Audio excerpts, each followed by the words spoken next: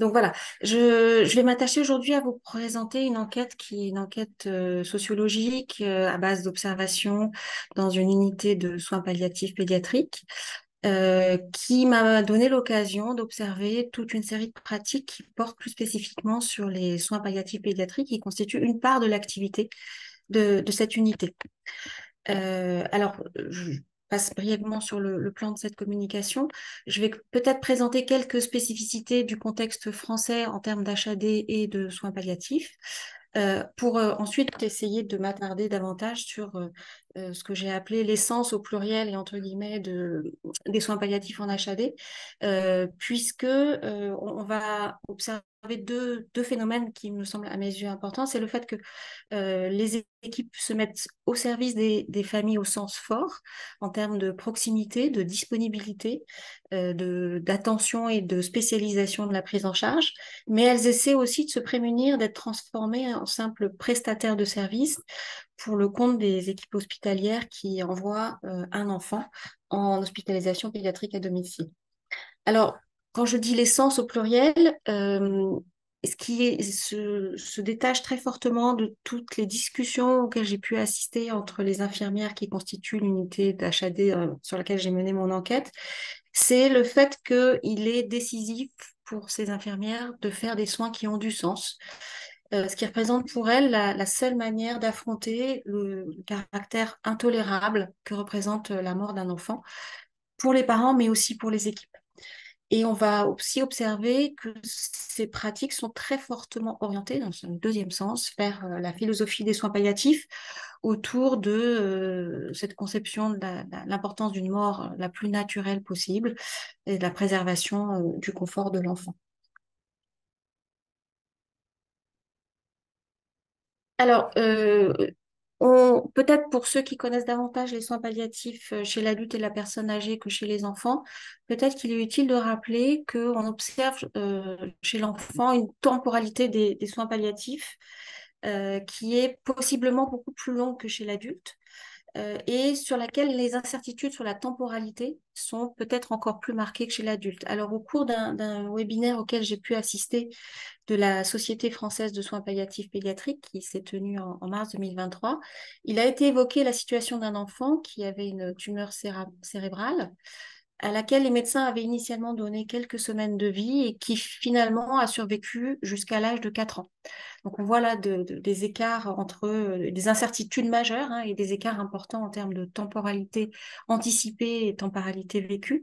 Euh, sur l'unité, j'ai également le souvenir d'une situation autour de laquelle les infirmières, après le décès de l'enfant, revenant sur cette expérience, se rendent compte qu'il s'agissait d'un enfant dont il avait,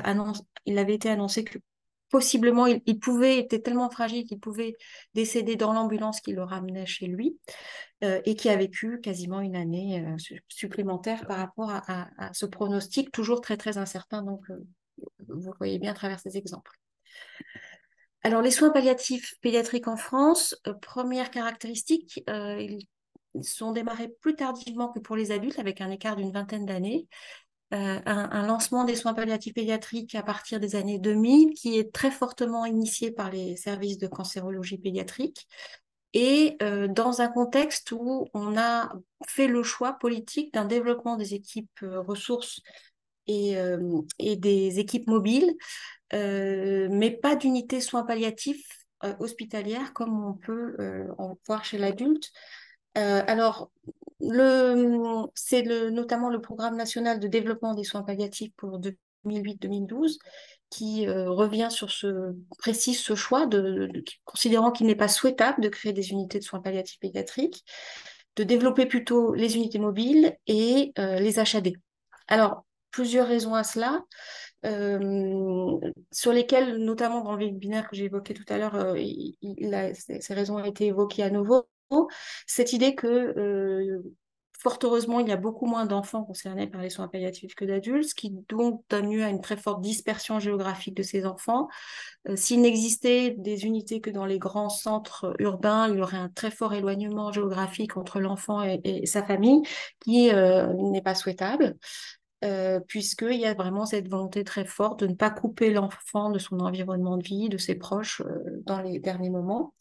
Euh, et puis, il y a aussi cette idée supplémentaire qui a été évoquée lors de ces webinaires et, elle, fait écho à ce que j'ai énoncé tout à l'heure, qu'il pourrait être extrêmement difficile pour les soignants de résister dans une unité euh, entièrement dédiée aux enfants.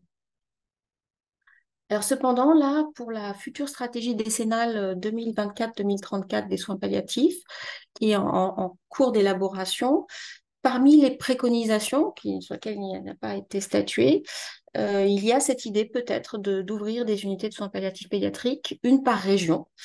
Euh, mais voilà, rien n'est acté à, ce jour. Donc, euh, voilà les, trois grandes raisons qui ont, conduit à privilégier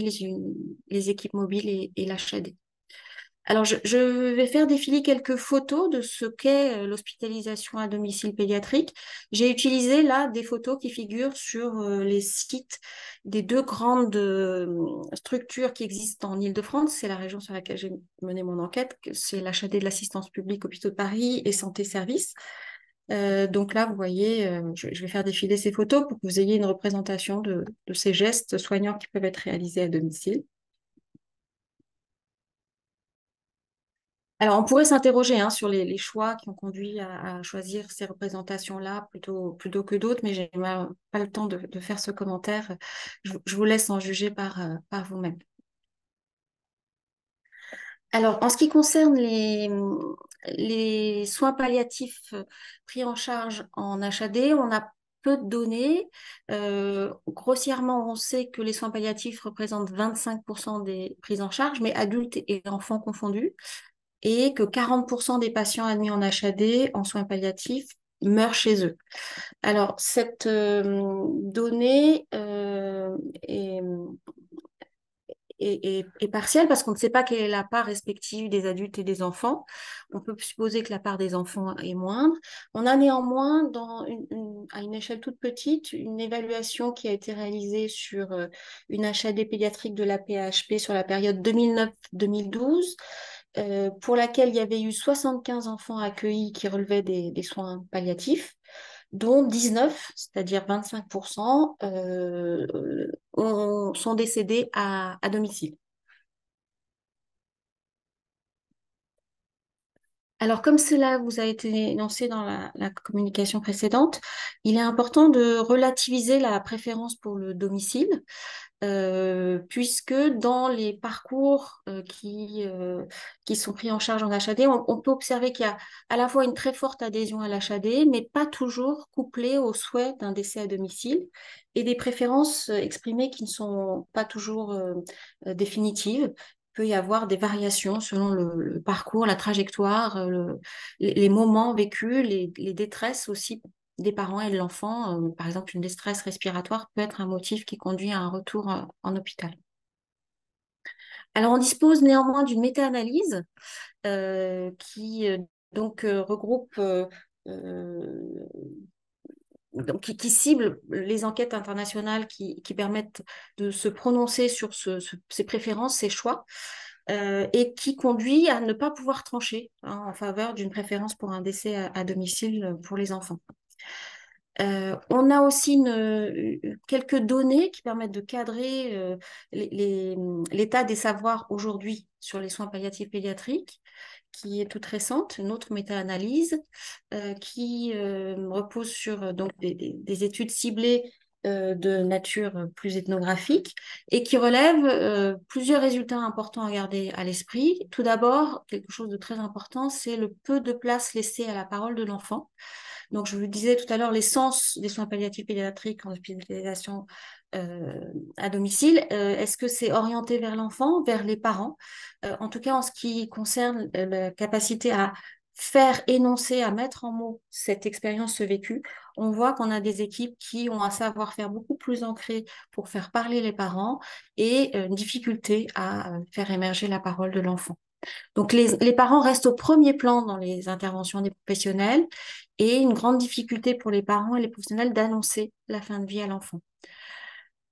Euh, on a, là on ne sera pas surpris, des parents qui souhaitent prolonger le temps qu'ils peuvent passer avec leur enfant, euh, notamment parce que persiste un, espoir mm, permanent d'un traitement de la dernière chance. L'idée aussi que peut-être ils n'ont pas exploré toutes les pistes, toutes les possibilités. Et dans les situations euh, euh, que j'ai pu suivre au, cours de mon enquête, on a des parents effectivement qui envisagent de, de protocoles à l'étranger euh, pour voilà cet espoir d'une dernière dernière possibilité.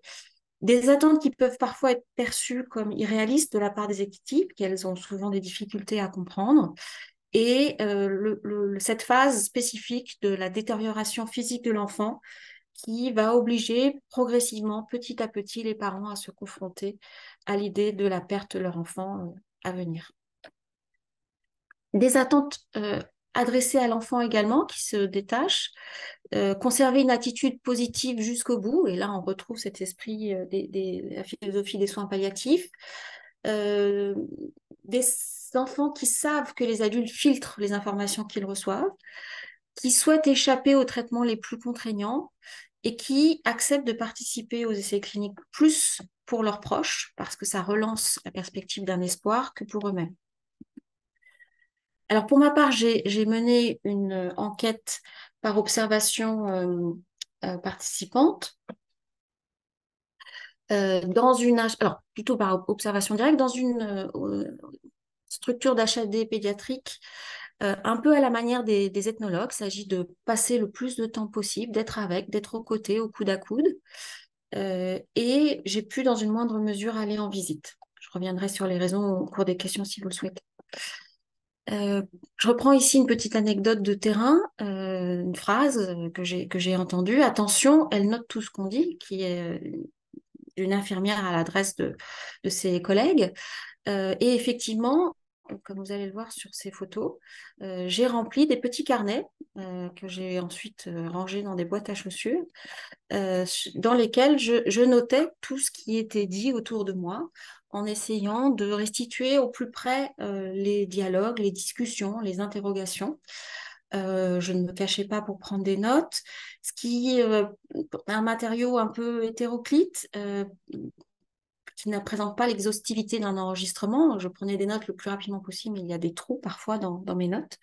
Et j'ai aussi utilisé lors des visites euh, les temps passés lors des trajets pour tisser des liens de confiance avec les infirmières, en m'attachant à être en quelque sorte un témoin discret euh, d'une activité dont les, euh, les équipes sont fières. Alors, euh, j'ai euh, du coup, au cours de cette enquête qui s'est étalée sur... Euh, j'ai démarré tout doucement en 2017 et de 2018 à 2020, l'enquête s'est intensifiée. j'ai bénéficié d'un congé de recherche de six mois, ce qui m'a permis de voilà, passer plus de temps et de créer ces liens de confiance. Et puis après, en 2020, il y a eu cette interruption brutale que l'on a tous connue j'ai maintenu, mais vraiment en pointillé, quelques liens avec l'équipe. Et donc, euh, ça m'a permis, euh, sur la période la plus intense, 2018-2020, euh, de collecter plus d'une vingtaine de situations d'enfants relevant des soins palliatifs. Avec un matériau disparate, je vous le disais, dans lequel j'ai pu consulter des dossiers de soins, participer à des réunions, des temps de transmission et des échanges informels. Alors, dans ces matériaux, il y a un, matériau spécifique euh, que j'ai réuni au cours des réunions d'analyse de pratique qui sont des temps forts dans l'équipe, qui ont lieu tous les deux mois et demi euh, à peu près, euh, qui sont organisés par une infirmière spécialisée en, soins palliatifs et spécialisée dans la, mise en œuvre de ces groupes d'analyse de pratique. Euh, qui euh, ont pour finalité de, revenir sur euh, un accompagnement pendant ou après le décès de l'enfant, avec un très fort souci de réflexivité, de, réfléchir sur ces pratiques, qui sont aussi des temps de formation aux spécificités des soins palliatifs et une manière de, valoriser le travail de l'équipe en les confortant dans ce qu'elles ont pu faire et, voilà, des décisions prises qui, ont pu être les bonnes.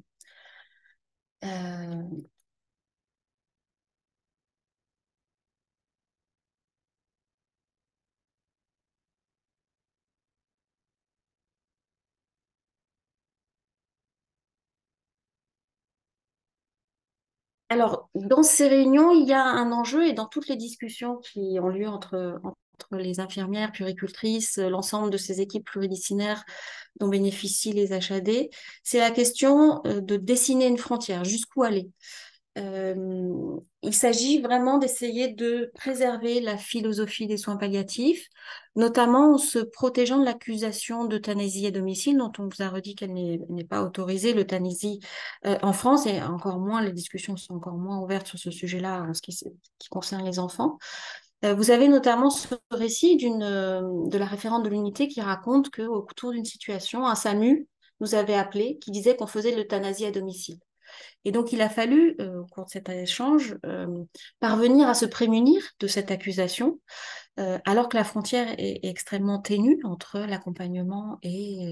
l'accélération du processus du mourir. Donc, il y a vraiment cette idée d'accompagner, de ne pas accélérer le processus du mourir, mais l'équilibre à trouver pour maintenir le confort et le bien-être de l'enfant et le jeu sur les, les molécules rend cette frontière ténue, difficile, difficile à tenir. Et elle interprète euh, cette accusation de, ce médecin du SAMU en disant, mais il y avait de sa part une très forte angoisse. C'est pour ça qu'il m'a renvoyé cette accusation. Euh, aussi cette idée qu'il est possible dans le cadre euh, des soins palliatifs pédiatriques de s'autoriser, et c'est aussi ce qui se travaille au cours des analyses de, pratique, euh, à, s'affranchir des, protocoles, à faire du cas par cas, à une, très forte personnalisation des traitements et un souci de simplification, d'aider les familles à faire au plus simple, de ne pas programmer inutilement des pompes qui sonneraient à 4 heures du matin s'il y a la possibilité d'aménager les horaires sans qu'il y ait de,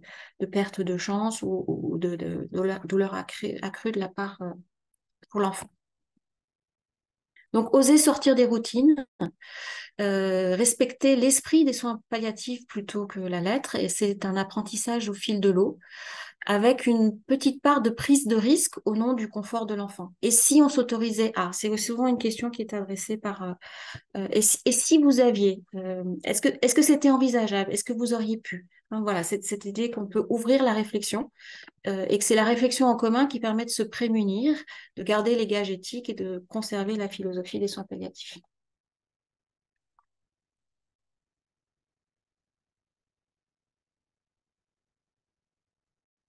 À travers ces, temps, il y a aussi un espace de parole qui est déterminant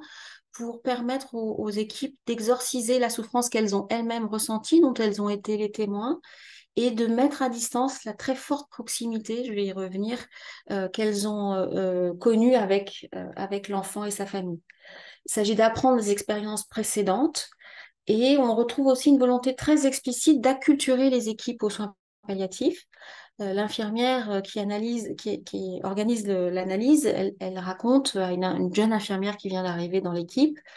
Au début, on dit des choses simples. Plus ça va, plus les équipes sont acculturées et ont des questions de plus en plus difficiles. Euh, et donc, valoriser le travail de l'équipe, c'est aussi une manière d'ancrer la pratique palliative en HAD, de ne pas renoncer à ce type de prise en charge, d'inciter les infirmières à se mobiliser autour de ces situations.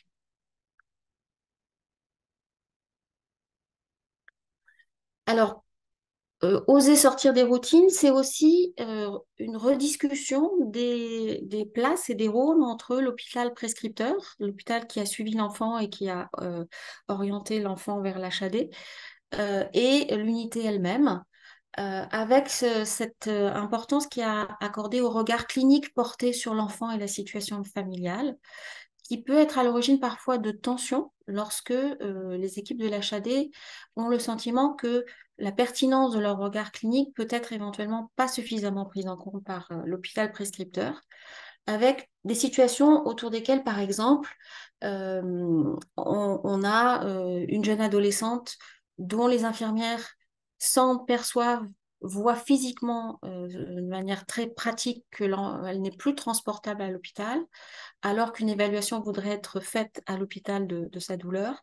Euh, et il va y avoir cette insistance exprimée en disant mais je vous dis qu'elle n'est pas transportable. Hein. donc, cette manière de dire faites confiance à mon regard clinique.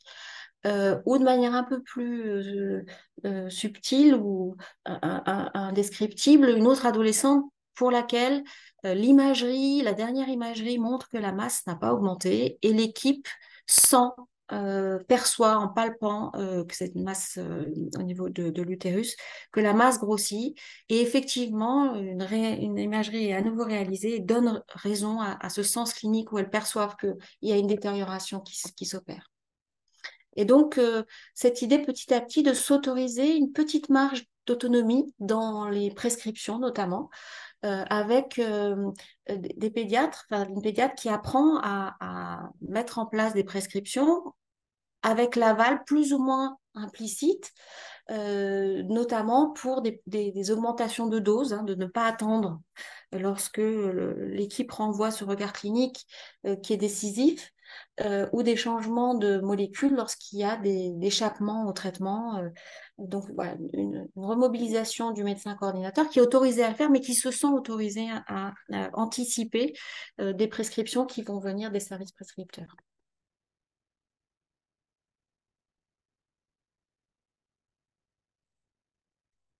L'autre phénomène qui s'observe, qui n'est probablement pas une surprise, mais qui va un peu à l'encontre d'une norme professionnelle, ce sont des situations dans lesquelles euh, les infirmières vont apprendre à réduire la distance professionnelle, vont créer et tolérer une très forte proximité. Euh, avec cette limite qui est de ne pas se mettre à la place des parents, qui là euh, les, fait toucher à l'intolérable. Donc elles sont très proches avec une proximité qui se, joue aussi dans, la proximité des corps. elles peuvent masser hein, très longuement. enfin voilà, c'est quelque chose qu'on retrouve aussi dans les unités de soins palliatifs. Euh, on a aussi des savoirs spécifiques avec cette attention aux signes de transformation du corps euh, très fin, hein, euh, qui, pourrait se faire tout à fait aussi en service, mais là, on a, on a, on intention et qui est restituée ensuite dans les échanges pour affiner le regard clinique avec des, variations de poids, d'aspect cutané, d'escarres, d'élimination des fluides corporels, donc une très forte intensification du regard clinique. Euh, je pense par exemple à un, petit garçon en rechute d'une greffe après une leucémie qui, a un peu plus de deux ans et qui a encore de très grosses, euh, alors qu'il est vraiment en toute fin, euh, très grosse dose de, corticoïdes, qui a une très forte pilosité en conséquence. Et dont l'infirmière prend le temps de noter qu'il y a des poils blonds qui sont apparus, pilosité augmentée sur ses oreilles, une attention évidemment à tous les signes qui, montrent une détérioration, par exemple les veines éclatées euh, dans un œil. Euh, mais voilà, elles, ont, elles vont inspecter le corps, repérer des chapelets de bosse sur une côte, opérer les transformations qui fait que l'enfant devient méconnaissable, comme Alexandra, qui est une, jeune fille de, de 11 ans, qui elle-même ne se reconnaît plus dans la glace tellement elle est, bouffie par les, corticoïdes et, que l'équipe elle-même peine à reconnaître lorsqu'ils ouvrent la porte du domicile et, la retrouvent et la revoient à chaque visite. Euh, comme vous l'avez vu dans l'enquête que j'ai présentée tout à l'heure, il y a une très forte euh, attention aux parents hein, et euh, à la détresse des parents notamment. Un des grands enjeux des visites, c'est amener les parents à parler. une très grande importance accordée à la mise en mots par les parents de ce qu'ils éprouvent, de telle sorte à ce qu'ils parviennent à euh, tenir, faire face, et, mais aussi de discerner où en sont les, parents. Euh, alors, avec cette idée que de toute façon, c'est une réalité qui sera jusqu'au bout inacceptable, cette mort à venir de l'enfant pour les parents, qu'il ne peut pas en être autrement. Euh, avec, par exemple, dans une situation d'un jeune euh, bébé né avec des très fortes malformations, donc on sait que les pronostics, le pronostic vital est engagé, euh, et on, se rapproche de, la fin de vie, et l'infirmière qui euh, a été au domicile raconte, cette maman, si elle avait pu le faire rentrer en elle, elle l'aurait fait rentrer en elle, elle l'aurait remis dans, son, ventre. Donc, discerner où en sont les parents, leur état d'esprit, ce qu'ils éprouvent, mais aussi le refus de se projeter dans ce qu'ils vivent. Euh, avec euh, euh, aussi l'acceptation du fait que les parents eux-mêmes ne veulent pas se projeter dans le temps, hein, que pour eux, il s'agit de, vivre au jour le jour, alors peut-être il y aurait des décisions à prendre, mais c'est jour par jour. Et on a cette métaphore omniprésente du cheminement qu'on retrouve de bout en bout dans, les discussions les, et, les, dossiers également. Euh, avec derrière cette image du cheminement, l'idée qu'il faudrait que tout le monde chemine de concert au même rythme, ce qui est un, peu le, but à atteindre et qui est difficile à, obtenir. que les parents cheminent au rythme de, l'enfant, que l'équipe soignante et l'équipe hospitalière arrivent à cheminer au même rythme, c'est-à-dire à avoir la même perception de la situation au même moment, euh, de, lever les réticences des parents à regarder la réalité en face, malgré ce côté euh, intolérable. Euh, et la métaphore du chemin, ça veut dire que c'est étroit, que les pas sont difficiles, sont lents, qu'on n'y parvient pas sans effort.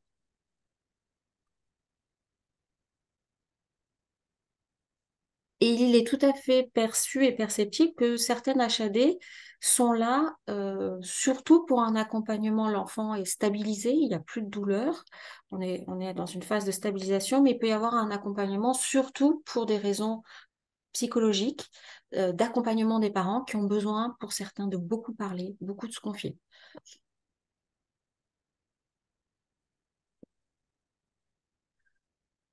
Euh, la particularité de l'hospitalisation à domicile, c'est que les médicaments vont être au domicile. Euh, or, ce ne sont pas des médicaments anodins. Euh, donc, les équipes vont se familiariser avec cet usage, avec cette présence des médicaments à domicile et la crainte de mal faire. Alors, dans les dossiers, euh, elles savent et on peut identifier l'entrée dans la phase palliative avec cette présence de l'hypnovel et de l'oramorphe à domicile, qui est un peu comme un point tournant qui marque la progression à la phase palliative. Aussi au travers de l'intensification des doses, avec la question jusqu'où aller, sachant que euh, vont tenir compte de euh, cet équilibre à trouver pour les parents dans leur cheminement entre la bonne gestion de la douleur et du confort de l'enfant, mais le risque de perte de contact la volonté de ne pas accélérer le, processus du, mourir,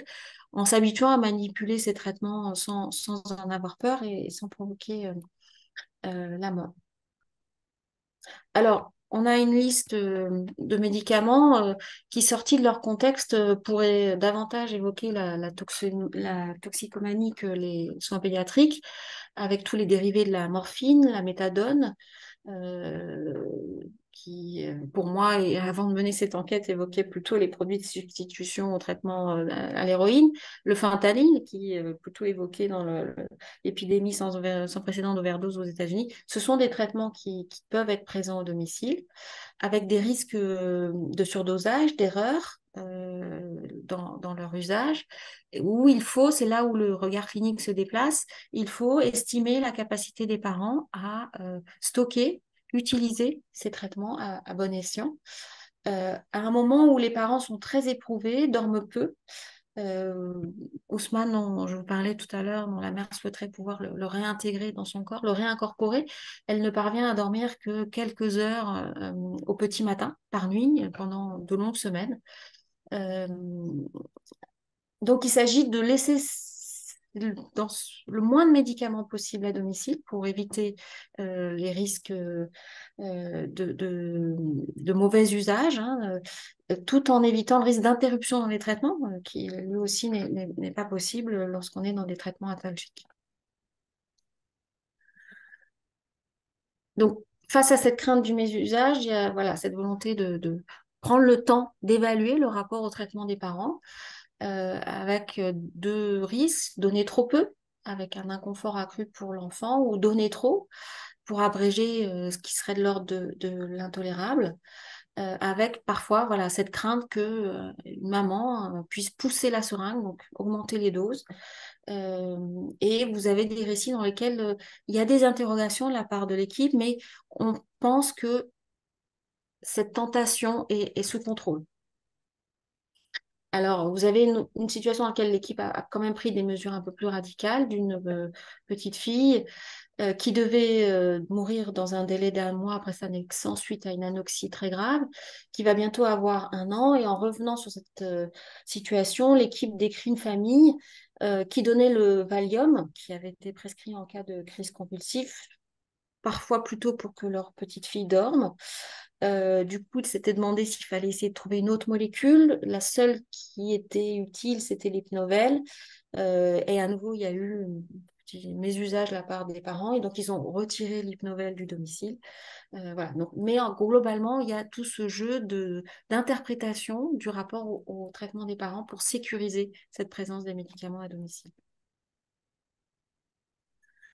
Euh, donc des équipes qui se sentent fières de réaliser cet accompagnement, mais qui peuvent à certains moments ressentir des formes de malaise si les savoirs qu'elles ont acquis au domicile euh, ne sont pas suffisamment écoutés, entendus, notamment par l'équipe référente qui suit l'enfant, ou si le service référent n'est pas transparent en ne communiquant pas dans une relation de confiance l'ensemble des informations dont lui-même dispose, et notamment ce qu'il a pu énoncer ou pas auprès des, parents, euh, des,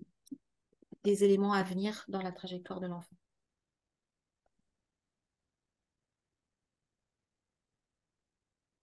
Alors, on a des cas où il va être, euh, il va être fait appel à la sédation profonde. Alors, c'est plutôt, euh, il ne s'agit pas de faire la sédation profonde et continue qui était évoquée tout à l'heure, hein, mais d'aller vers une sédation dont on sait que dans un délai plus ou moins court, elle va conduire au décès. Qui est un positionnement éthique difficile à trouver, avec toujours cette interrogation, où est la frontière, jusqu'où on va euh, et ce, frein que constitue l'idéal de la bonne mort qui euh, repose sur la volonté de, laisser le processus naturel, physiologique de la mort advenir. Euh, dans les accompagnements, dans le cheminement, il y a un élément qui est à la fois matériel, organisationnel, mais qui a une très forte charge symbolique, c'est la fiche SAMU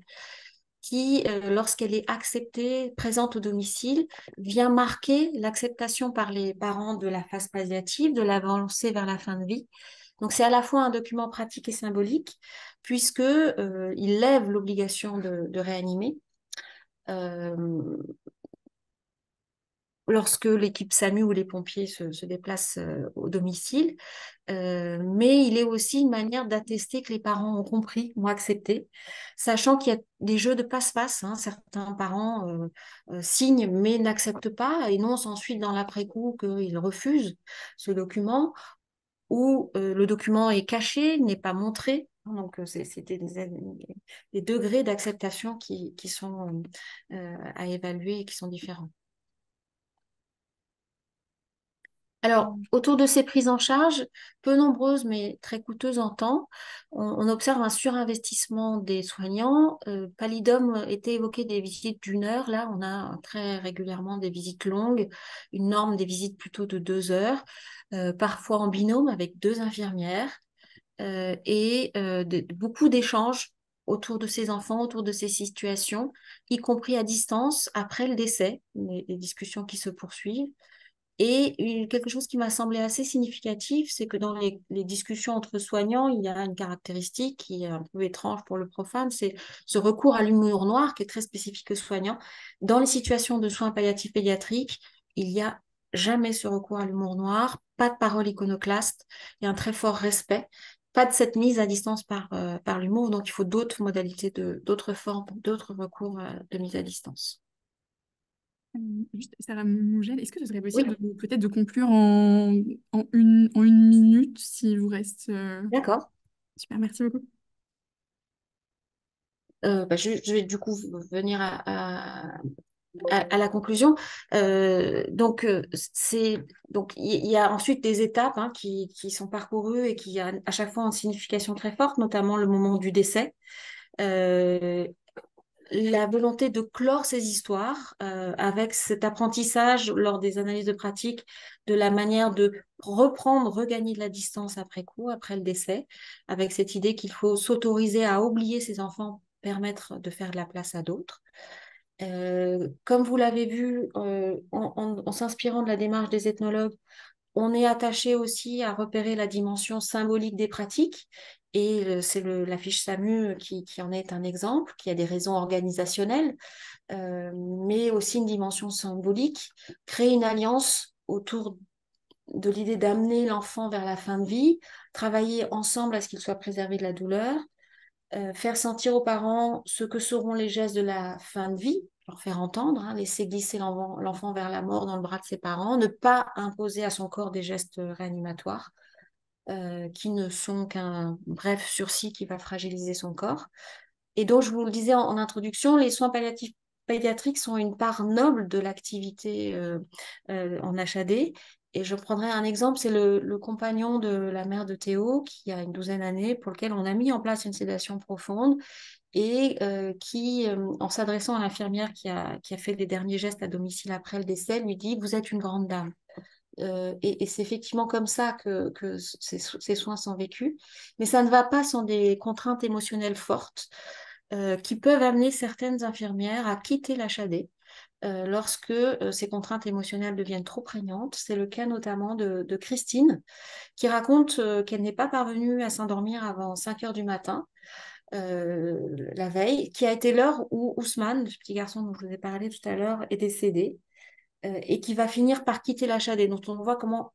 même physiquement, elle ressent hein, le, poids de, de, cet accompagnement, presque comme la mère d'Ousmane, elle ne peut pas trouver le sommeil. Je vais conclure là-dessus.